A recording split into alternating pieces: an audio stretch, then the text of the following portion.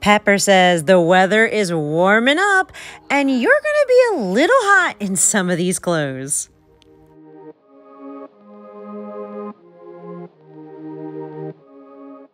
It's been a cold spring so far in the Northeast, but this week coming up, we're getting hotter and in the 80s, and these heavy sweaters are no good. We are going to have to switch out the winter clothes with the summer ones. Now I keep my off-season clothes down here in the basement, and luckily we recently opened up the area where we store them. I have these two tubs that are on this shelf, and hubby is going to bring them up into the bedroom for me.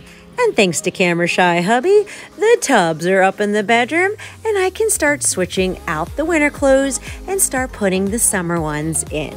Now I'm going to start with this tub right here and inside of it is all of my Old Navy swing dresses because honestly, that's all I wear in the summertime. I do have shorts, but because I only have maybe like three pair, they stay with the leggings in the drawer all year round.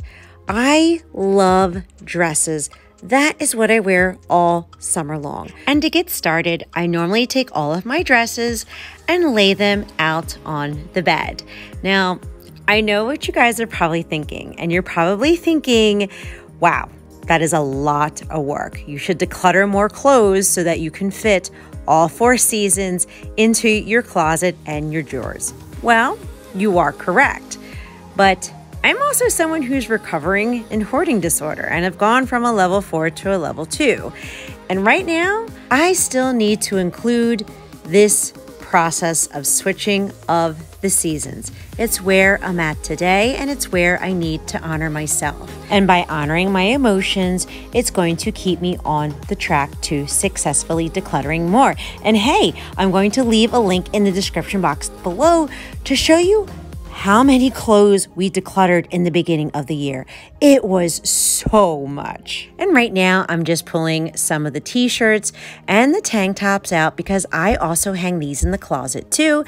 And now the tub is nice and empty. The second tub is only half full because it has like bathing suits and stuff in there. But I need two tubs because the winter clothes are bulky and they'll take up both tubs when I pack everything away. So I just want to take a moment and kind of share my heart with all of you as we're doing this because I'm about to jump into a very sensitive subject, but I, I want to make sure that I'm sharing it with everybody because I know I'm not the only one who's going through this and I would love to have like open, positive conversation about this. So this past winter, I, I gained some weight. It did. It just happened, you know. Um, it's very easy to do when all you wear is elastic leggings and, and hoodies. you don't kind of realize those slow pounds that kind of grow on you over the winter time. I had started emotionally eating. I emotionally ate a lot in the winter time, which is easier to do, but I almost kind of felt like I replaced hoarding with emotional eating and being a workaholic. Now that's a separate video. We're focusing on the emotional eating part. And what I wanted to share with you guys was that I had noticed the emotional eating was kind of satisfying the stress and the anxiety just as the hoarding had done before, right? Now I started letting go. What I started finding out was that I was feeling that same attachment now to food in the sense that it's like, I need to eat this food because I'm feeling stressed and I'm feeling anxious and I feel like I could have a panic attack. And now I'm going to eat the food because I'm going to self soothe myself because there's comfort. I'm having this feeling of comfort and there's no limit to it. It's the same thing. There's no limit. I'm just going to eat and eat and eat, hoard and hoard and hoard until that feeling of scare and fear disappear. I I wanted to look into it more and I wanted to share with all my YouTube family. I'm wondering how much of a correlation there is from the hoarding to eating disorders to, well, probably addictions. It's probably all falling into this like addictive personality kind of like category, but I don't know because I'm not a doctor. It's something I have to research, but I just want to bring it to light. Now, moving forward, back to the clothes. This is an Old Navy swing dress, and it's a little snugger than it was last year because it was a lot looser. But you know what? It's okay. It still fits. And honestly, all I have to do is lose about 10 pounds to feel good back into my clothes. And we're addressing it now before it gets out of control, before I start binge eating really bad, unhealthy food to the point where now I might be creating diseases in my body. So that's why we're doing it now, and it's going to be done in a positive, healthy way. Now we're going to focus back on the closet, and I'm going to take the empty seasonal totes, right? And take all the winter clothes and put it away in the tub so that we can hang our summer clothes up. And as I do this, I'm going to go into more detail of how we're going to take this weight loss series and put a healthy spin on it. My intention is to bring it to light just like I did with my hoarding disorder. So our YouTube family can have these honest conversations about where they are in their journeys, if they struggle with this, if they did struggle with this, how did they turn it around.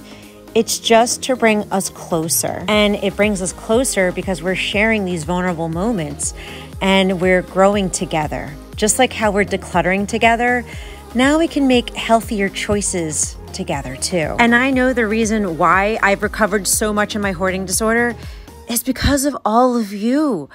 All of you cheering me on, all of you believing in me to change, and us sharing our stories together.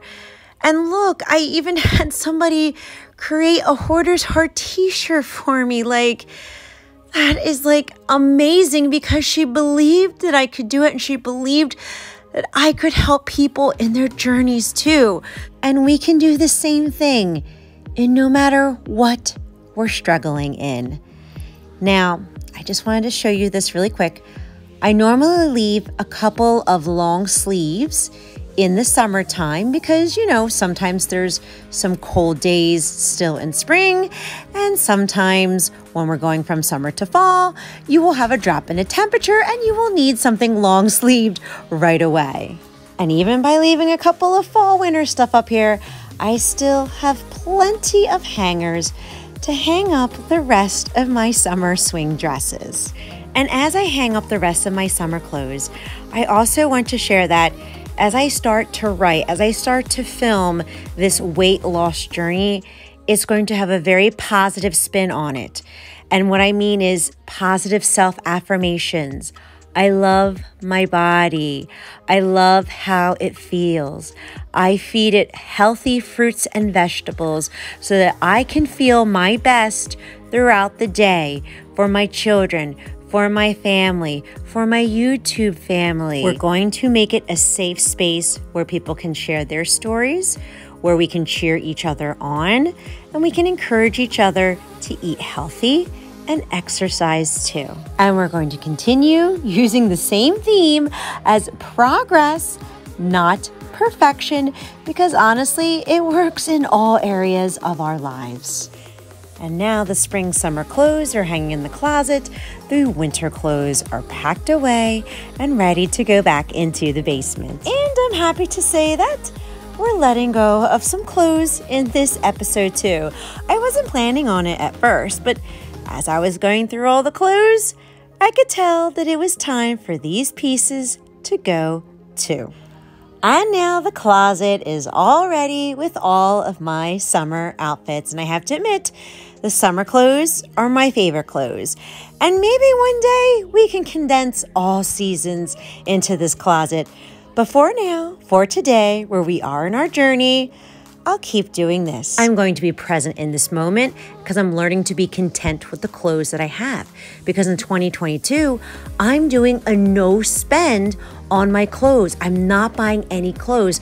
So now you can see why I was a little concerned that my clothes were a little tight. I don't want to feel pressured to buy new clothes, but at the same time, I'm not going to pressure my weight loss journey either. I'm going to be present in the moment that I'm in now honor the emotions that I am feeling, and set new goals for myself. And my hope and my prayer is that this video encouraged you to be in the present moment too, to look at all of our accomplishments and see how far we've came. We're doing amazing.